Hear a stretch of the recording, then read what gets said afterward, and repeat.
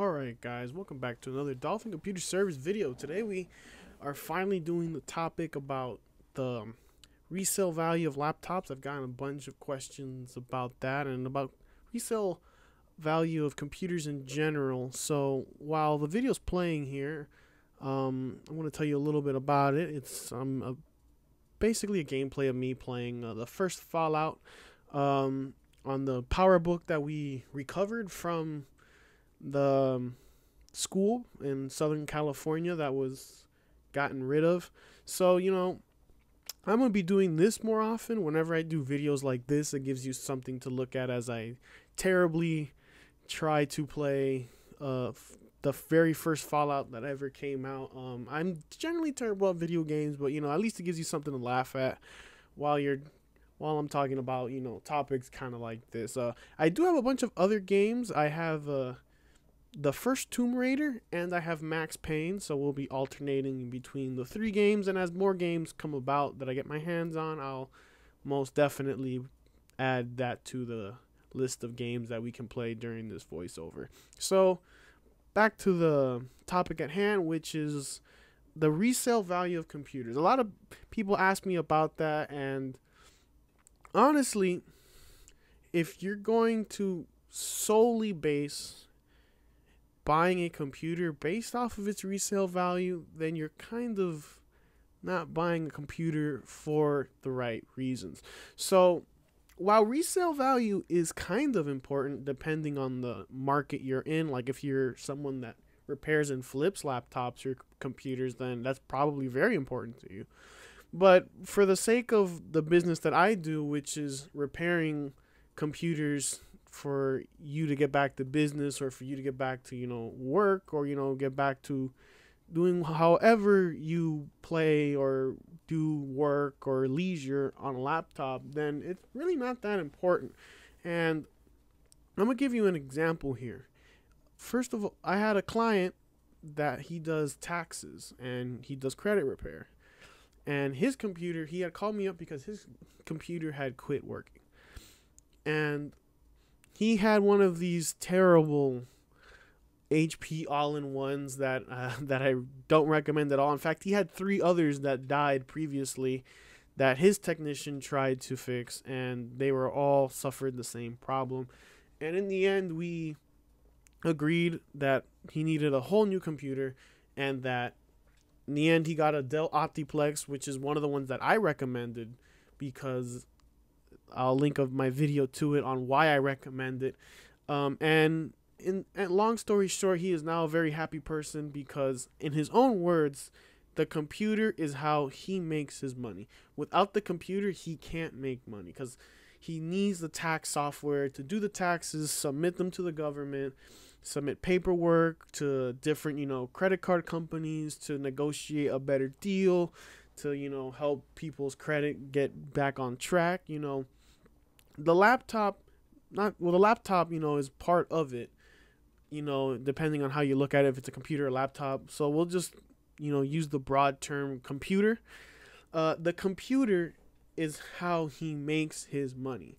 So he doesn't so to him resale value is not important because he could have the fanciest computer in the world. He could have a macbook pro 16 inch with the m1 max 64 gigs of RAM, the 32 core 32 cores of graphical processing power. But if that computer isn't working, it's completely useless to him. And honestly, if you're buying a computer to use, you know, you want it to be able to do exactly what you want it to do. So you so if you're a, a gamer and you have you know this ten thousand dollar gaming PC, but it can't even run Minecraft, what good is that computer to you? Or like this gentleman, he has uh he has tax software and he can't do anything with it because the computer's broken. Like, what good is it to you? So you know, that's why to me resale value is really not that important for what you're gonna do. So obviously if you're buying thousands of these like a school like this macbook for example this macbook power this powerbook correction g4 started off, I believe this is a base model. I haven't really done my research on it, but this one cost about $1,700. So after 20 years of usage, I got it for 40 bucks. You know, what, you know, what kind of resale value is that? And resale value really depends on, you know, the computer you get. Obviously, a MacBook will have a higher resale value than, you know, some cheap $300 Walmart Acer laptop. Although there's nothing wrong with those laptops, you know, obviously, you know, a machine that costs $2,000 will, you hope, will have a higher resale value than that. But resale value, you know, depends on a lot of things. You see, a computer is kind of like a car where once you leave the lot, or, you know, in the case of the computer, once you get it out of the box, it loses a lot of its value. And the more specked out the computer is, in terms of, you know, like what processors, you know, how high up the ladder you chose to to upgrade this computer, the more will depreciate which is why I usually tell customers, you know, if you want the late the a very high end laptop without paying really the high end price, wait about a year, pick yourself up a good one that's you know used lightly. That way, the original owner has depreciated has already paid for that depreciation. They also tell you that you know when buying a car, that's assuming you know life isn't going like Corona now and life's crazy, but you know that's generally when you want to get a good deal on something that is high end. I mean, be- between now, you know, between one year, you know, generally, you know, the the the gap between performance isn't that great, maybe 10%, you know, at most, but you know, you really won't notice 10% unless you're looking for something super specific, you know, maybe you need soft maybe there's a software that has to run you know this style of computer but that's even then that's very rare and software developers usually develop software to run on a multitude of hardware or or computers you know or OSs and all that. So you know however to rebuttal myself here a little bit uh resale value can be helpful like this powerbook for example you know maybe if you didn't sell it 20 years later but let's say you know you're a school which usually gets funding every year to every few years of you know to get new equipment. You know if you buy you know a bunch of $300 laptops you know there's only you know so much you can get. But if you bought like a bunch of these macbooks or even the unibody macbooks which still go easily for $200 on ebay you know you use it for you know, let's say you've had it for five years, which is usually what, you know, most people have their computer for and what most companies design the lifespan of a computer for, which is usually five years.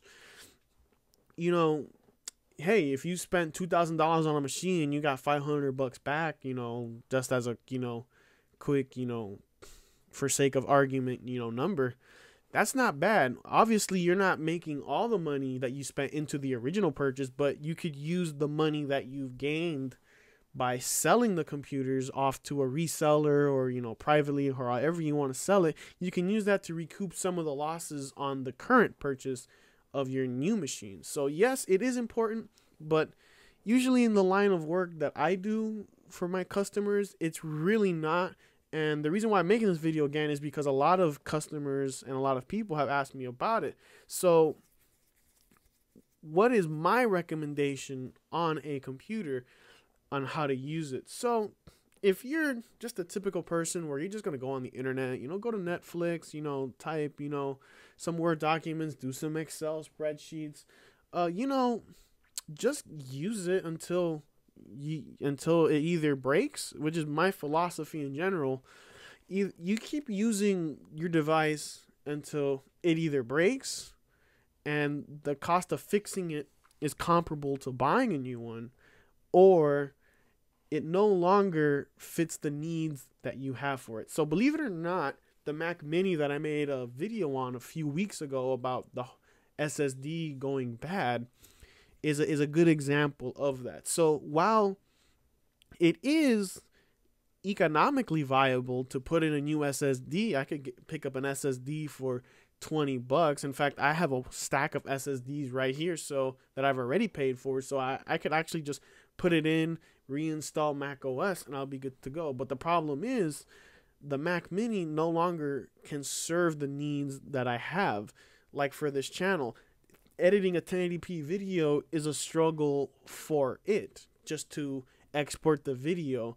And in fact, the tablet that I'm recording this on does the job tenfold better. So, you know, even though I can easily upgrade it and, you know, restore it back to its original condition, it still doesn't change the fact that it no longer fits my needs. So, if let's say, you know, back to the original topic that you are a you know, let's say you're a, a person that has a laptop, but you know, they they really want to upgrade, you know, by all means, you know, it's your money, it's your life, do whatever you want, but you know, getting a new computer is actually kind of a difficult thing, especially now with chip shortages where you even getting one is kind of a hard thing to do or you have to wait, you know, 6 months, 8 months, if you're lucky, 3 months, you know. And two, you know, transferring over everything does take time. It's it's a big pain. Even if you have everything saved to the cloud, you have to re-download it. And even with computers like Mac OS, where you can plug in one cable and transfer it over, you still have to wait quite a bit. And if you're one of these content creators that has a lot of stuff on their computer, you know, that's a lot of time that you could, you know, be doing otherwise if you had just left your computer be. And for businesses, you know, logging in, you know, having to set up the computer back for your, you know, for your employee, having to download everything again, having to sign in credentials, have, you know, whitelisting, you know, IP addresses, you know, it can be a, a really big pain to transfer everything over from one computer to another or just setting up a whole new computer. So, you know, just because you know Dell, HP, Apple, or Sony have the latest, just put out the latest and greatest product, you know, it's it's not as easy as you know just going to the store and picking it up. No, there's usually a lot involved, especially on the business end with you know setting up a new computer, which is why a lot of times you don't see businesses constantly you know getting new computers and all that. Schools are usually different because they get funding but schools, a school computer is also a different case because school computers tend to be abused. They tend to get, you know, be when especially when they're giving the students, you know, in the high school and earlier, you know, from elementary and up all the way up to high school. And even when colleges and universities give students laptops, they generally live a very hard life, especially laptops, which are, of course, mobile. You know, they get tossed around, they get thrown in the cars, they get left on the roofs of cars. That's a very common one I get that the student someone accidentally left their their MacBook or their laptop on the roof of their car. They got in their car, totally forgot about it, drove away, and then when they go went to the first stop sign and they tapped on the brake, it slid off the roof and went slide 30 feet on the asphalt and now they need a new screen a new everything you know yeah. It, believe it or not it, it's pretty common that that happens. But um but you know usually that's why schools usually you know they have a more active uh, upgrade and replacement program is because usually they live a hard life uh, even the desktop ones schools believe it or not can be very dusty even when they are taken very well care of by custodial and staff because you know doors are constantly opening kids are coming in from you know different parts of you know town different parts of pl- different places. They bring in they're wearing clothes you know some especially private schools that have uniforms they're usually from cloth or wool or something you know that that attracts dust very well so you know they're walking in they have their backpacks which you know god knows been washed you know probably never the the first the last time they were clean was when they pulled it off of target you know, they're bringing in their dust. You know, they have their pencils, they're erasing stuff. You know, schools are just in generally a very dusty place.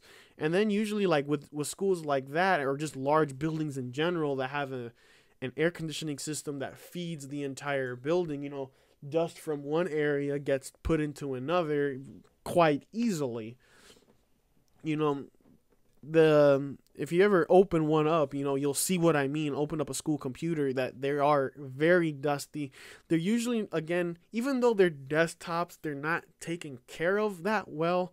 You know, they don't get they don't get cleaned very often. The only time they do get cleaned is when they call me to come and fix the problem and I'm since I'm already in the computer, I'll clean it, you know. So even though a, a desktop doesn't get the same amount of abuse as let's say a laptop, um, they still get abused, you know. And like I said in the previous video, heat is the number one enemy of a computer. So once that dust gets in and prevents airflow, if it gets hot enough, you know, it will eventually kill the computer or prevent the com- computer from even starting because if it's constant, if the computer sees I'm constantly overheating, it'll just prevent itself from turning on. And dust, believe it or not, can conduct electricity and short things out, you know, prevent the computer from booting up because the motherboard sees a voltage where there shouldn't be and it'll just prevent, you know, to prevent itself from being damaged, it might not turn on, it might not turn on. So, yes, you know, computers in schools do live hard lives and even in businesses, you know, where there's a bunch of, uh, where all they're doing is, you know, let's say a customer service call center, you know, where they're just in front of the computer typing away you know, they do, you know, business computers do generally live hard lives. And in fact, a lot of computers, they don't even turn off. The only time they turn off when a power outage happens or, you know, I come in to, you know, do uh, some service on it where I have to turn the computer off. You know, a lot of those computers they'll stay on for all their for basically all their lives. You know, they they never see you know the power button get used ever again once besides the initial power on. So um, this laptop, believe it or not, that you see in front of you, this PowerBook, is actually the exception because usually when they come from schools, they usually get used and abused, and this is a survivor. Uh, I haven't opened it up yet. Getting a little off topic here. I haven't opened it up yet because um, to open this thing up is actually kind of a pain, um, to say the least. Uh, it's not one of their more friendly uh models that they made for serviceability. But you know, at the moment it's working fine. So I, I, I just let it be at the moment. So again, you know, resale value also depends on other things besides age. Um, resale value also depends on condition. You know, since we're on the topic of how hard live, how hard of a life some of these things can can can experience. Um, like your car, you know, once you get into an accident and it's on record, you know, the the value tends to drop almost like a stone. You know, and a computer's no different. Once you drop it and there's a ding or a scratch, you know, that what let you paid two thousand dollars for a brand new MacBook, and let's say the next day you accidentally drop it, and all you have is a little dent, you know, on the corner of the aluminum body. Well, that probably shaved off a few hundred bucks, you know, depending on how intensive the scratch or the dent is, you know. That's, you know, so if you're buying a computer based off of, you know, just resale value, you basically can't even open it out of its shrink wrap because once you open it, it loses its value because now it's considered used. It's not even a new product anymore. So you can't command the same amount of, you know, money as if you went to as Best Buy can versus you on eBay. So so back to what I was saying is when you should you really change computers? Um, that's not necessarily a straight answer, but my rule of thumb is if it's completely dead and it's too and it's more expensive or just as expensive to fix it as it is to get as it is to go out and buy a new one, then by all means go buy a new one. And let's say if you're you know uh like a, a parent and you've had like a unibody MacBook for you know all these years you know i still have my 2011 unibody macbook believe it or not you know and you have a kid that's about to you know go into high school or middle school or even college and you really don't want to spend the money you know on a laptop for them because you know it's going to get you know lost stolen or you know be abused then by all means give them that one and then splurge on yourself if you want. But um, that's generally how you know I view it, which is you get it either when you're forced to get it because it dies, or because like for me in the Mac Mini, it's it just can no longer serve your your needs on what you want it to do. And you know, we're human, our needs change all the time. Uh, I bought the Mac Mini, you know, many many years ago because you know it was perfect for what I wanted. I could run it as a Minecraft server, which is what it did for a lot of its life. I was able to edit some uh, music files on it, which it still does very well. Audio isn't as intensive as video, and you know if you just want to talk to your friends on Discord or Skype or you know just watch some movies, it's more than capable of doing that. You know, you don't need the latest and greatest computer just to see your Netflix video at 1080p, you know, and all that. You know, it's always, you know, perf it's always a good idea to get the computer, you know, based off of what your budget allows and what you're really going to do. There's like, you know, a lot of students when I when I worked, you know, at the at the local college campus store, a lot of students they would buy this three thousand plus dollar sixteen inch MacBook Pro, and all they did was watch Netflix and YouTube. You know, like what's the I get it, you know, the MacBook looks pretty, but you know, do you really need to spend three thousand dollars on that? And then there's other people like in the engineering department where they absolutely needed a $3000 macbook to run autocad and all that and then they would buy a macbook air that could barely you know go to the start menu on autocad. Um, you don't want to be on either side of that spectrum when you're buying a computer um, because you know it's never you're just gonna either be wasting money you're gonna be wasting really money either way if you go too expensive or too cheap because if you go too expensive uh, well, the only benefit of going too expensive is now you can keep the laptop for longer. You can, you know, instead of having to upgrade after five years, you could do what, which is what I normally do, just keep using it until you can no longer use it anymore because it's so old or it's just too expensive to fix. Or if you go too cheap, then it either you're either just frustrated with it all the time. I remember my dad had bought some super cheap laptop back in the day when I was a little kid, and he was so frustrated with it that he actually punched it several times on the keyboard to the point where the keyboard looked like the ocean in the middle of a hurricane. And he ended up you know just he punched it so hard he threw it. And the comp- the only thing that was savable from that computer was the hard drive. And believe it or not i used that i cloned that hard drive and i would use it to to get other computers up and running just to test them so I could, you know, at least, you know, part them out to someone that needed it. So, you know, so then in the end, you know, like he spent, you know, he spent like I think three hundred dollars on it. So it was some cheap Dell. Uh, no, it was some yeah, it was some cheap Dell. Just to a few months later go back to Best Buy and then spend even more money on an actually good Toshiba laptop. You know, so really, you know, you you don't really win when you go to both sides of the spectrum.